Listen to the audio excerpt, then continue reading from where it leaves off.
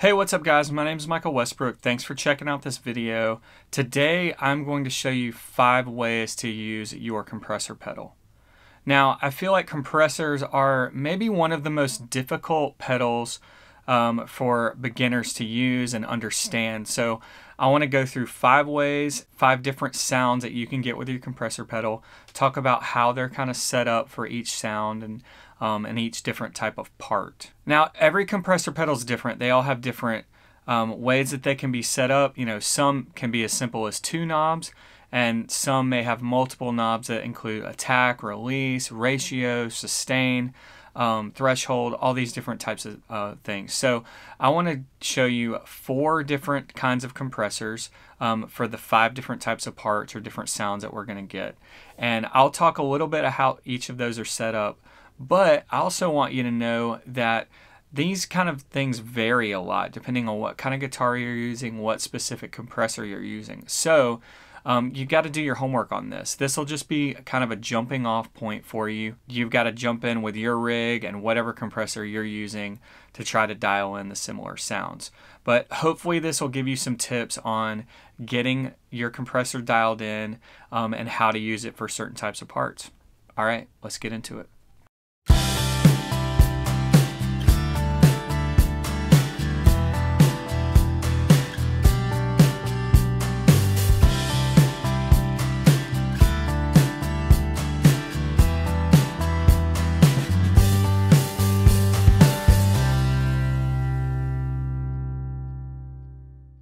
So a quick note here. As I was editing this video, it occurred to me that pedal companies are really inconsistent when it comes to naming a certain parameter. And that parameter is essentially the compression control, how much compression you're getting. The four pedals used in this video all call that control something different, either sustain, sensitivity, peak reduction, or compression. Throughout the video, I will reference this control by either calling it compression or sustain, even if it's called something different on the pedal, but just know that's what I'm talking about. If you're new to compressor pedals, um, think of this as the most important control on the pedal.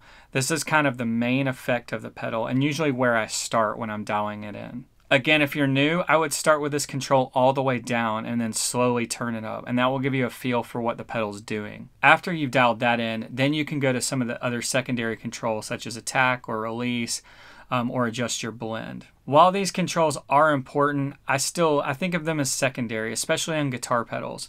Um, a lot of guitar compressors don't have these controls, um, or the effect just isn't as noticeable. Whatever pedal you have, whatever controls it has, get to know them and figure out how to dial it in to make it sound how you want it to. The five ways that I talk about in this video of using a compressor are just a jumping off point. There are many different ways to use a compressor, but hopefully this will give you some ideas of sounds to go after and ways to dial those sounds in. The first way I want to talk about um, to use your compressor is an always on style compression. To demonstrate this, I'm using the LA Studio Comp that's found on the HX Stomp. Again, with all of these, you can use a different kind of compressor, but I'm going to talk about some features that um, might help with certain sounds uh, that will help you get those those types of sounds or do that well. In this case, it's really great to have a compressor that has a blend knob on it. What this does is it allows you to blend in your dry, unaffected signal with the compressed signal.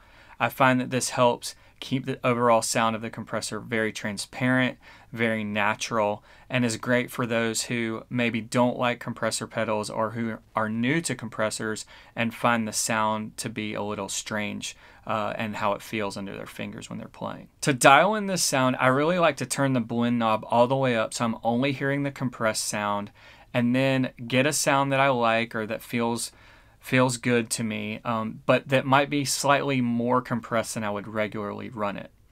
Then I will turn the blend knob down to a point where I feel like I'm getting a natural, transparent sound, but I'm still hearing a bit of that compression fill in things and level things out a little bit. Again, you can use any kind of compressor for this, but I really do like using a compressor with a blend feature on it. We're going to take a listen to a short little track.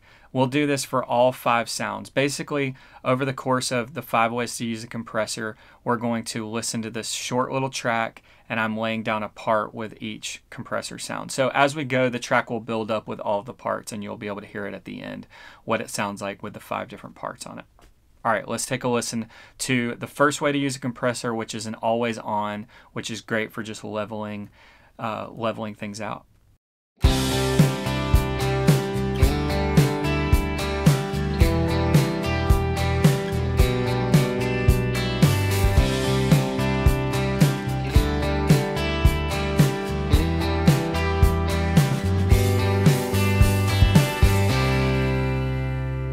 So the next way that I like to use a compressor is just for straight sustain.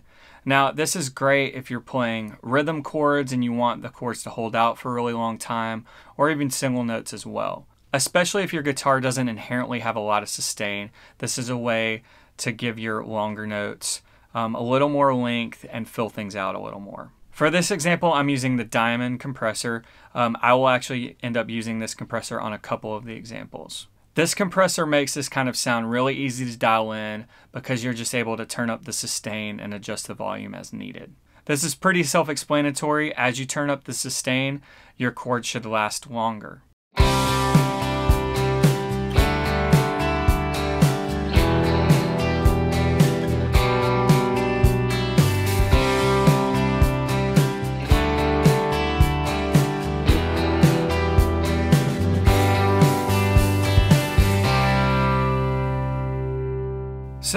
Third way that I like to use compressor is for what I like to think of as vintage style picking parts.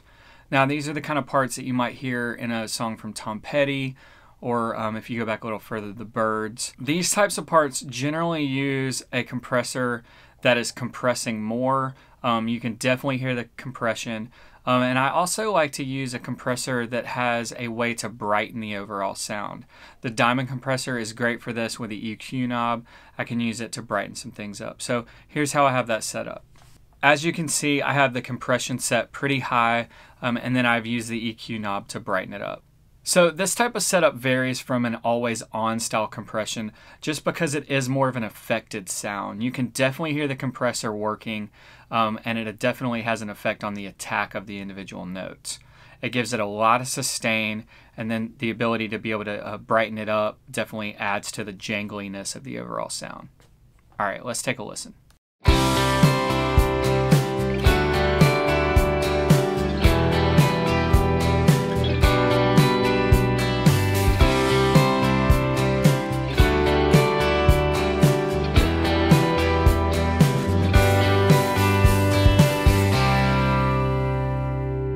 A lot of times I find when I go to playing slide, um, especially if I'm using a glass slide, that the parts aren't as loud. So I use a compressor to not only boost the signal, but also to give me a little more added sustain without necessarily giving me more overdrive. In general, that's one reason why I would use a compressor as opposed to using more overdrive.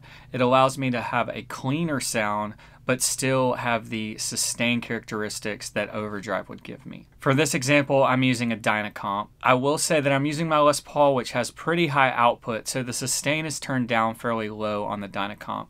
But depending on the guitar, I would turn this up just to make sure that I'm getting plenty of sustain for my slide parts.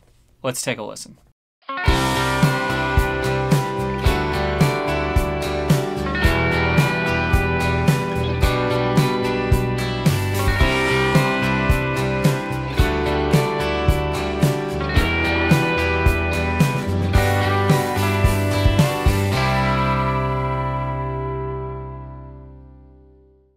Fifth way to use a compressor that I want to talk about is using a compressor as a lead boost. So rather than using another gain stage or a clean boost, um, sometimes I'll use a compressor to not only bump up my volume, but maybe give me just a little bit more sustain. Just overall can be a little more musical than just a, a regular clean boost. For this example, I'm using the double back compressor from Seymour Duncan. This compressor has been discontinued, but you can still find them really cheap. I think I picked this up for about 50 bucks. It has a really unique feature on it called the double back knob that has a couple of different EQ settings. It essentially acts as a clean blend knob that you blend in, it also has the sidechain EQ thing that allows you to just blend in high frequencies or mid frequencies or the full range. It's a very unique type of uh, setting for a compressor that I, I've really found that I enjoy. For the example coming up, I have it on the mid setting just to kind of give it a little more mid presence.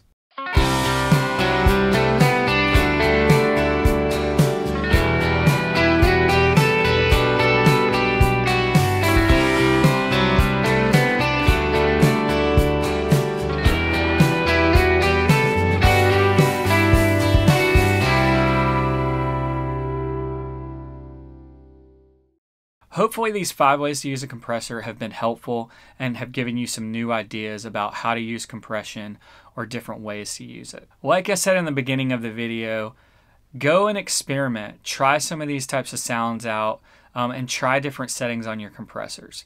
Even in making this video, it was really fun to just kind of go outside of what I would normally do um, and try different sounds, try different compressors to get different tones. Not only is it fun, but I also learned more about each compressor um, and kind of the strengths and weaknesses of each one of them and, and why I might use one for one type of sound and one compressor for another type of sound. That being said, you don't need four or five compressors. Um, there are lots of great compressors out there that will give you all types of sounds. So, whatever you have, experiment with it, try some different settings. Compressors are really useful tools and they can do a lot of different things. So, explore and, and learn more about them. All right, that does it for this video. As always, thanks for watching. Be sure to check out some of my other videos, as well as hit that subscribe button and hit the thumbs up button if you like this video. All right, until next time, I'll see you out there.